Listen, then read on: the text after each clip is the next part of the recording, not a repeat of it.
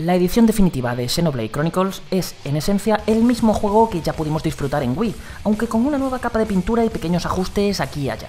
Es decir, la historia, los personajes, el sistema de combate, sus escenarios y sus contenidos son prácticamente idénticos. Por lo tanto, volvemos a encontrarnos ante un JRPG con un desarrollo más o menos lineal y guiado por su narrativa en el que nos moveremos libremente por unos escenarios de un tamaño descomunal. En ellos encontraremos bestias de todo tipo con sus propios comportamientos y rutinas, ciudades pobladas por personajes únicos y una ingente cantidad de misiones secundarias capaz de abrumar al jugador más dedicado. Por su parte, el sistema de combate se basa en la realización de golpes automáticos y el uso de habilidades que necesitan un tiempo para recargarse, lo interesante es que existen técnicas que se potencian según nuestro posicionamiento respecto al enemigo, así como otras capaces de provocar efectos especiales que podemos encadenar para derribarlos y aturdirlos, dotando las batallas de mucho dinamismo y profundidad. Evidentemente los enfrentamientos no se quedan aquí y van un paso más allá con mecánicas como la posibilidad de ver el futuro para poder actuar y cambiarlo, o la importancia de mantener alta la moral de nuestros compañeros para que rindan adecuadamente.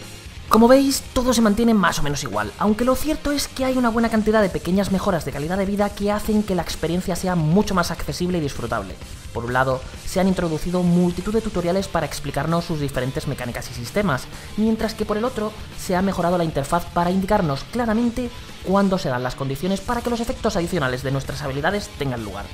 Pero, sin duda, nuestra mejora favorita la tenemos en el mapa, ya que ahora se nos indica en él, y de forma muy clara,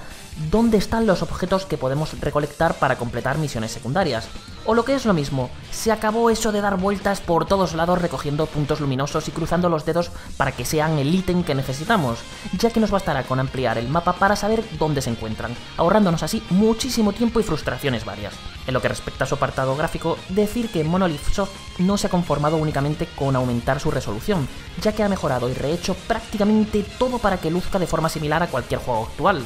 Esto incluye nuevos modelados para los personajes principales, nuevas texturas, un nuevo y espectacular sistema de iluminación y condiciones atmosféricas, una distancia de dibujado mayor, un incremento del número de elementos en pantalla, etc.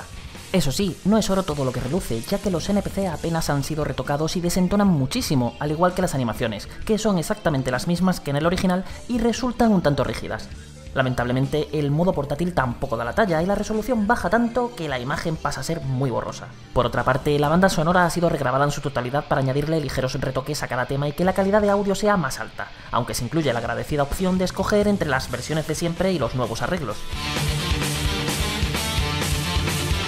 Por último, no podemos terminar este vídeo sin mencionar que se ha incluido un nuevo capítulo a modo de epílogo al que podemos acceder desde el principio.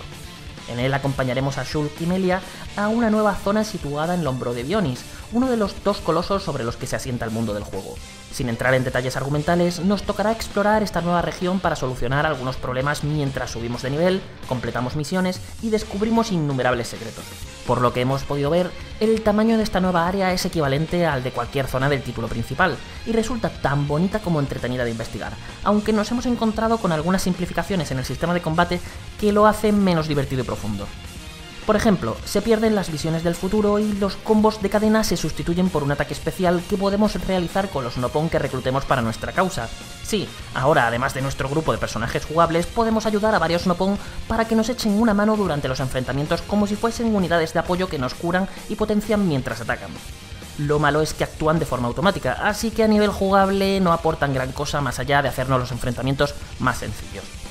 Como veis, la edición definitiva de Xenoblade Chronicles es una buena puesta al día de un JRPG imprescindible. Mantiene todo su encanto intacto y en líneas generales no deja de ser el mismo juego de siempre, pero su nuevo apartado audiovisual hace que la experiencia sea más inmersiva que nunca y las mejoras de la interfaz ayudan a que podamos disfrutar de un viaje mucho más agradable y menos frustrante. Y ojo, ya que sus novedades no terminan con su nuevo epílogo, pues hay al menos dos más de las que todavía no nos dejan hablar. Aún quedan un par de semanas hasta que se ponga a la venta, tiempo que aprovecharemos para explorar en profundidad sus nuevos contenidos y traeros nuestro veredicto final cuando llegue la hora de analizarlo. Aunque ya os vamos avanzando que si os gusta el género, aquí tenéis una cita a la que no deberíais faltar.